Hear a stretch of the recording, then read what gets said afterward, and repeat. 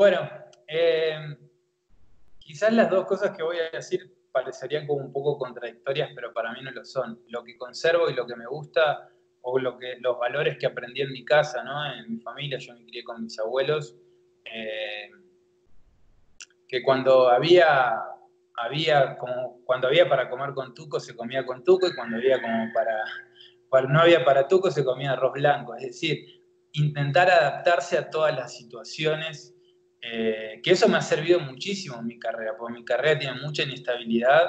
Eh, acá en México se dice, hay días que comes caviar y otros días tacos al pastor, como la comida más barata, o, tacos de canasta, la comida más barata que puedas comer. Eh, y, eso me ha servido muchísimo para moverme, adaptarme a las nuevas realidades, a las nuevas situaciones y no, no pasarla mal, no, no sufrir. la educación creo que está bueno, es algo que, se, valora mucho, sobre todo conociendo toda la región latinoamericana y, también Estados Unidos, ¿no? que los niveles educativos no son tan buenos como creemos que son. Eh, lo que no me gusta es la falsa humildad, el conformismo, eh, esa frase de que es lo que hay. No, coño, no es lo que hay. Hay muchísimo por todos lados. Lo que pasa es que está mal repartido, ¿no? Hay que, hay que buscarlo, hay que a veces se dice como hacerte un lugar, ¿no? Eh, y, no, no siempre ese lugar lo vas a encontrar en Uruguay, en lo que haces. Eh, hay veces hay que irse y tal, no queda otra. Pero nunca me, nunca me ha gustado ese conformismo de que, y bueno, ¿qué le vamos a hacer? No, eso no me gusta. Cosas que me gustan y sigo teniendo, el mate infaltable. Uf, mate con galletitas dulces o galletitas saladas, eso, hasta mi marido que es lituano a veces no lo entiende, cómo puedo yo tomar mate siempre, no puedo tomar dos termos por día y, no lo entienden. Eh, el explicar qué mierda era el mate en Lituania también eso era una misión imposible, decían que era un té y que, no sé, bueno, eso ya es otro tema hasta ahora siguen sin entender qué carajo es. Yo digo que es como un té verde y, ta, y dale, arranca. Viste, como que no, no tengo ganas de explicar de lo que es. Eh, cuando les doy para probarlo escupen, pero bueno, el mate es una cosa, la, la hawaiana, que ah, bueno, no son uruguayas, pero las chilenas siempre, eh, siempre que voy a la playa o algo. Eh, los partidos de fútbol siempre los veo, porque yo también jugaba al fútbol en Lituania, entonces el fútbol es sagrado siempre. la siesta la siesta es intocable. Es más, me, eché una siesta antes de hacer la, entrevista. Cosas que no me quedan de Uruguay es eh, la impuntualidad. Eso es lo único que voy a hacer. Soy muy puntual. Cuando llegué a Europa, siempre fui puntual también en Uruguay. Era una cosa que nunca me gustaba y nunca me gustó porque no me gusta. Cada tiempo de cada persona es sagrado y no me, no me gustaba no me gustaba eso no sé, capaz que dejar a la persona esperando media hora, capaz que tenía cosas que hacer después y bueno, está. Eso. Bueno, no me da vergüenza nada. Ya a esta altura de mi vida uno pierde, viste, como que ya el filtro, no sé. como dice mi, mi hija, su mamá, no digas todo. Eh, no, vergüenza no, no me da nada y lo resalto el ta, que es un signo polisémico, el cual está presente y tengo mis amigas, mis amigos y mis conocidos que lo utilizan, el TAP, porque soluciona un montón de problemas eh, lingüísticos. Eh, y em, empecé a, poder llamar de otra manera las cosas a medida que las iba utilizando, ¿no? Acá, no decir cascola, ¿no? El lenguaje. Eh, claro, cuadernola, crayola, todo eso, ¿no? Que uno dice. Y, uno lo, como lo, tenés internalizado, por ahí lo, lo, manejás y, lo cambiás, la pava por caldera, esas cosas, ¿no? Y ¿qué sigo usando? Sigo tomando mate con yerba canarias, no sé si se puede decir canarias, con yerba uruguaya. Eh, y em, a ver, ¿qué más? Creo que no dejo de hacer nada. Eh, de lo que me hace ser uruguaya, pues me siento bien siendo como soy.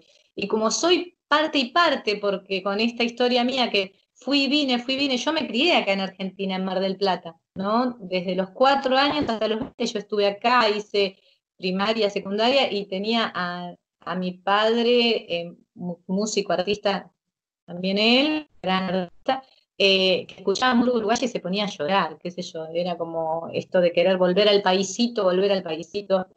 Y bueno, y ahora que estoy acá, yo creo que me gusta estar en los dos lados, ¿no? Tomo de los dos lados cosas. Esa pregunta me, me, la pensé bastante y no, creo que nada me da vergüenza de ser uruguaya. Quizás, pero son cosas que yo, que igual me dan vergüenza en Uruguay, ¿no? El, el, el extremo fanatismo por el fútbol es una cosa que me da un poco de vergüenza, la verdad, porque hay tantas cosas que pasan en el mundo y, yo, y mi área es como más de cultura, ¿no? A mí me interesa más la música, el teatro, el arte, ¿no? Y creo que el uruguayo no, no, no le da mucha bola a esas cosas, tanto como al fútbol, ¿no? Entonces es, es algo que, que siempre renegué, y eso que yo tengo un, hermano futbolista, lo cual probablemente él me quiera matar en este momento, pero él sabe que yo tengo esta postura. Eh, pero bueno, toda mi vida estuve atrás de mi hermano, ¿no? Que era que iba a jugar en Bellavista y después se fue a Italia y, ahí su carrera, ¿no? Eh, y bueno, tengo un primo también que es futbolista, que es el Colo Romero, es el más famoso de la familia. Y su hermano también juega al fútbol, Andrés Romero. Entonces, bueno, todos los futbolistas de la familia en este momento están diciendo, ¿qué te pasa? ¿No? Pero, pero bueno, no, no tengo ningún problema con el fútbol, pero sí tengo un problema con, con la obsesión del fútbol como si fuera lo único que hacemos bien. Y, y no es cierto, ¿no? Entonces, creo que siento que quizás el uruguayo está como medio con la autoestima baja, porque siempre solo se fija en, ah, futbolistas pero tenemos grandes cosas de música, de pintura, de, arte, del teatro que están buenísimas y, creo que no le damos el espacio. Pero bueno, eso es lo que quizás es avergonzante. Y aparte es como algo que, siempre identifica en Uruguay con el fútbol, ¿no? Cuando recién llegué acá, lo, que me decían era, ah, Uruguay, em, Luis Suárez, o no, me decían Forlán, era la época de Forlán cuando yo llegué. Y era, bueno, sí, Forlán, Forlán. Ah, y después fue Luis Suárez. Y después todo cambió con Mujica. Eh, ahora me hablan de Mujica. Lo cual digo, bueno, ok, por lo menos me hablan de otra cosa, por lo menos me hablan de política. No sé, es un personaje que tiene una imagen bastante idealizada, yo creo, en el resto del mundo. Eh, pero, pero bueno, ya, por lo menos me hablan de otra cosa, ¿no? y se agradece. Y, y, bueno, y algo que conservo de ser uruguaya no sé, no soy, no soy de tomar mucho mate, pero de vez en cuando lo extraño y me cuesta mucho eh, encontrar yerba por acá. Es muy cara y no encuentro, lo que pasa es que a mí la yerba me pone un poco nerviosa y entonces necesito una yerba específica. A mí en Uruguay me gusta tomar esta que se llama la abuelita, que tiene un nombre avergonzante. Eso es algo que también escondo en realidad, porque decir que tomás yerba a la abuelita como que me agrega 10 años eh, automáticamente. Pero, pero bueno, acá encuentro yerba paraguaya, está, hay mucho tarahui, no sé por qué, capaz que hay una, hay una comunidad grande de paraguayos, yo no conocí ningún paraguayo, pero tenemos tarahui y, y, hay, a veces hay canarias, pero la canarias me deja muy alterada, entonces es difícil, es difícil. Y de ser uruguaya creo que lo que más me gusta, que no sé si es, yo siento que así somos los uruguayos, de ser muy francos, ¿no? Muy, pa, honestidad, brutal a veces, pero decimos las cosas, somos un poco, somos bastante más directos. El mexicano de Ciudad de México, uff, te marea, te da vueltas, te dice que sí cuando es no. Tienen mucho miedo de, de decir la verdad, la posta, ¿no? O sea, no, eh, y eso es algo que me desespera. Al principio no entendía, al principio me costaba un montón entrarle a la sociedad, eh, o sea, sentirme parte porque era, pero si quedamos en esto, no, no quedamos en esto, pero me dijiste que sí. Ahora ya empecé a, leer entre líneas, ¿no? Y ahora es cuando, cuando tengo dudas, ya lo agarro contra la pared y le digo, decime sí o no, ya, no me vas a perder el tiempo.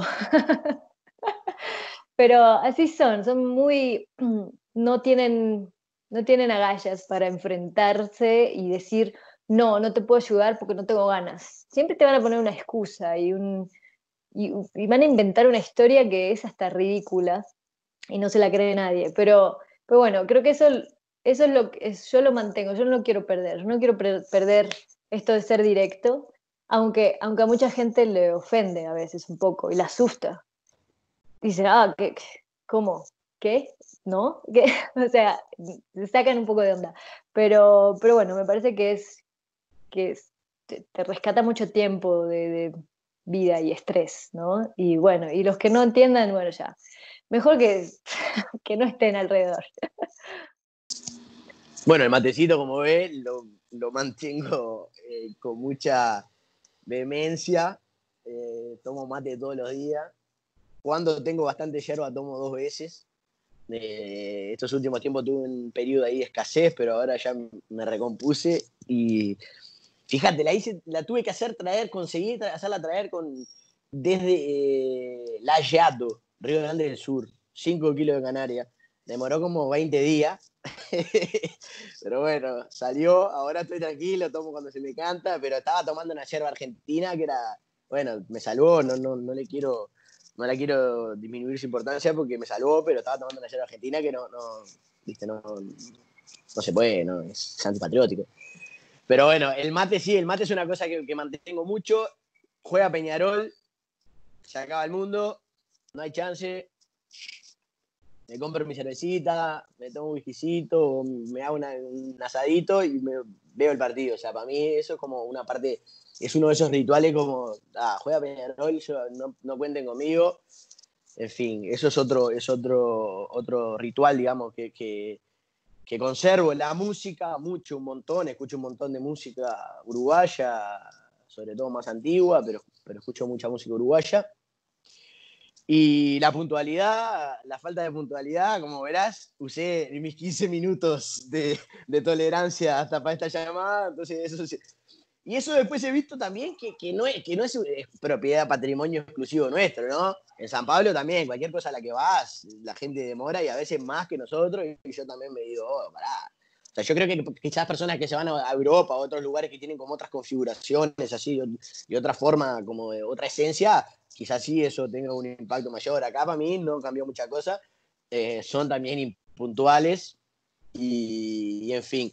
Otra cosa que conservo, que me, he dado cuenta, eh, es como una cierta cercanía que te das cuenta que no existe, o sea, que, es mucho más fruto de lo que yo era antes, de lo que... Pero bueno, esa es mi esencia y soy así, entonces, o sea, no voy a abrir abrirme de eso y decir, no, ahora paso a ser más frío. O sea, no que los brasileños sean fríos, al contrario, creo que tienen, que tienen también una cercanía bastante interesante, así como con el otro, pero esa cosa de llamar a todo el mundo de querido, por ejemplo. O sea, te, a veces te miran como, ah, ¿qué es querido? Pero nosotros tenemos esa cosa como, bueno, a cualquier persona con la que pretendés tratar con un mínimo de decencia o te parece que merece respeto, vos la podés llamar de querido. O sea, obviamente que no vas a llamar a un sobrete de querido, pero eh, hay un cierto, qué sé yo, querido. Ahí acá como que varias veces me han dicho como, un mm, querido suena medio mal y sobre todo querida, porque tiene como una cosa medio machista, así como de disminución. Como que hay, otra, hay algunas cosas que ves como que entras en otro debate que, bueno, para mí era como, querido, querida, esa cosa, eso lo conservo. Sí, cosas que, que, yo no creo que haya nada que haya enterrado, o sea, decir, no, enterré esto porque me parece, me avergüenza, o sea, yo creo que nada me avergüenza así como, como uruguayo, en esa cosa del ser uruguayo.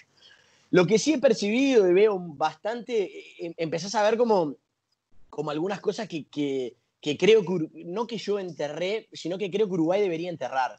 Y, una de, las principales que he notado es el racismo. O sea, me parece que nosotros no, no eh, quizá no lo entendemos la dimensión del problema, pero acá, yo, aquí, aquí, acá como que yo pasé a, a sentirlo mucho más eh, a verlo mucho más, no a sentirlo en mi piel, obviamente, pero, pero a, a, visualizarlo más, o sea, a, verlo en, personas cercanas.